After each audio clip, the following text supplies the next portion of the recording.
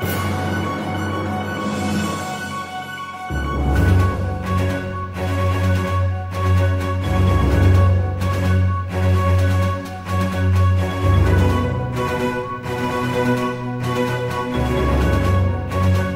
Central Campus is Alicia Johnson and Jake. bringing you Central Campus news. Any student who is interested in enrolling in summer school should visit with his, his or her counselor to complete registration. There's a boys basketball meeting on Tuesday at 2:55 in room 209. The meeting will be short. You will be able to get to your buses for practice or getting home. Contact Coach Winchesky if there's any, any issues. Any Minot High School student who wants to participate in the 2017 Magician Summer Strength Program may pick up any an information form sheet, sign up sheet in the main office. The cost of the program is $119. Students who are interested in taking the Alive 25 Defensive Driving course are asked to pick up information sheets in the main office. The course is Sunday, 1 o'clock p.m. to 5.30 p.m. at the North Dakota Safety Council, 308 40th Avenue Northeast, Suite A. This course is approved for point reduction and insurance discounts. Students who are taking advanced English 10th next school year should attend a meeting on Wednesday to get the summer reading. Come to either the 7:45 a.m. meeting or the 3 p.m. meeting with Miss Nelson and meeting in Miss Nelson's room, room 311 to get your assignments. See Miss Nelson or Mr. Gifford for any questions. Minot High School Spring Fling is Thursday, May 11th at the Aircrest football field. Games start at 6 p.m. The dances from 7 p.m. to 10 p.m. Tickets are $8 per person are available in the Central Campus Finance Office. Remember to wear white for dance or die. Get creative and come have some fun at one of our last school-wide events of the year. Happy birthday today to Gabriel Lays, Tori Rainey, Taney, and Alicia Johnson. Lunch today is taco in a bag, taco fixings, refried beans, salad bar, and milk. Happy Cinco de Mayo. Thanks for have a- watching announcements and have a great day.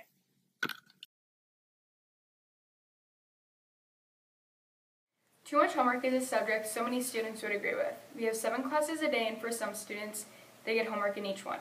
That averages to at least one to two hours on homework. Yet, we're still expected to do 60 minutes of exercise, have a social life, have a job, and get at least eight hours of sleep each night. We're at school for seven hours. For those who do sports, that's another one to two hours. Then a job, which can last up to six hours. Right there is 15 hours in a day, leaving nine hours for us to do homework, eat dinner, and visit with family. By the time all that is over, there's about six hours left, giving us six hours to sleep.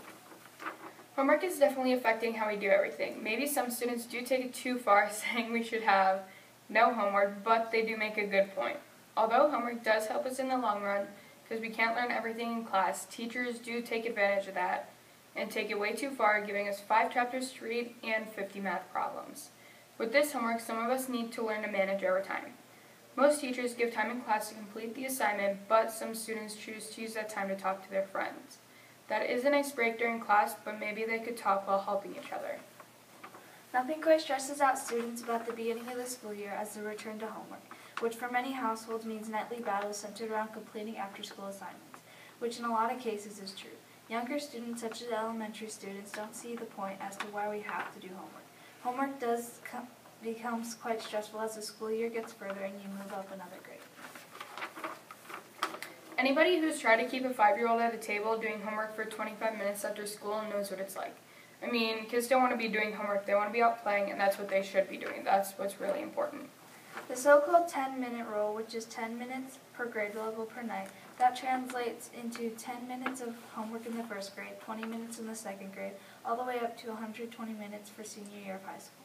The NEA and NPTA do not endorse homework for kindergarten. For any students in advanced classes, the rule is most likely not true.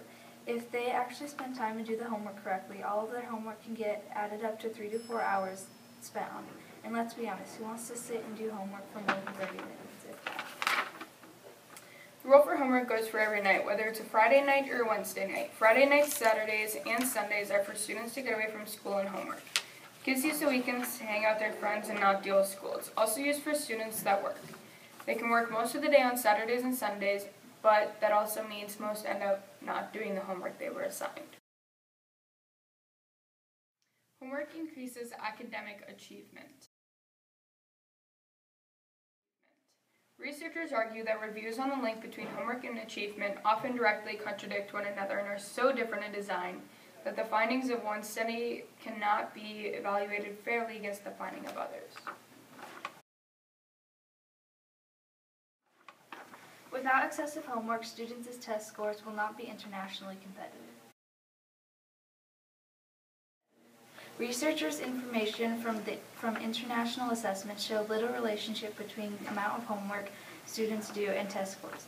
Students in Japan and Finland, for example, are assigned less homework but still outperform U.S. students on tests. Other studies find a positive relationship in math but not in reading.